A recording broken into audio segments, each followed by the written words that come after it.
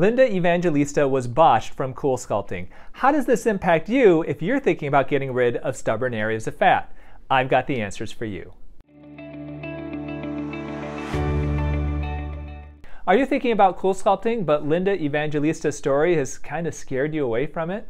Maybe you've got some stubborn fat pockets that diet and exercise just won't treat. Let's start by talking about CoolSculpting itself.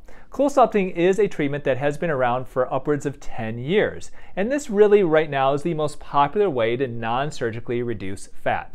Now, CoolSculpting uses a special applicator that is applied to the skin. It cools the surface of the skin and the underlying fat to such an extent that part of the fat cells will actually crystallize, they will die, and your body will clear those fat cells by normal mechanisms. Essentially, you poop it out. Studies show that you can reduce the thickness of fat by upwards of 20 to 25% after just one or two CoolSculpting sessions.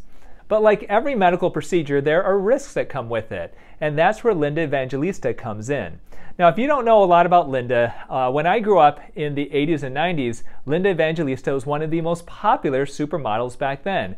Now, according to People magazine, she underwent seven sessions of CoolSculpting between August of 2015 to February of 2016. And unfortunately, instead of losing fat in those areas, the fat in those areas actually grew. Now, this is actually a well known complication of CoolSculpting called paradoxical adipose hyperplasia, or PAH. Simply put, instead of fat getting reduced in those areas that you have CoolSculpting, the fat cells actually grow. Now, this was first described back in 2015 where case reports started coming out, and it does appear to affect anywhere from 1 in 100 patients to 1 in 1,000 patients. The only known effective solution for PAH is liposuction. And this is tough because people go in to have CoolSculpting, they want to get rid of fat, and then the fat gets thicker afterwards. I mean, how distressing could that be? And on top of that, then the only way to treat that is to undergo surgery, which you had CoolSculpting first to try to avoid surgery in the first place. Now, I have recently seen two patients who've had PAH after CoolSculpting, one who had it in her double chin area and another throughout her whole abdomen. I brought both of these patients back for surgery to liposuction them, and the interesting thing is usually when we liposuction fat, it comes out in a bright yellow color. The fat that I liposuctioned in these patients who had PAH was kind of a darker yellow. Now, in Linda's case, it sounds like she underwent numerous sessions of liposuction afterwards. And I'll tell you, seven sessions of CoolSculpting, that is a lot. And it sounds like she had it done all around her body. I really feel for her. The patients that I saw literally each had just one session of CoolSculpting, and the amount of fat that they developed through that PAH was really impressive. So I could imagine that in Linda's case, after having seven sessions of CoolSculpting all over her body, that this could definitely be quite deforming and very, very upsetting to her.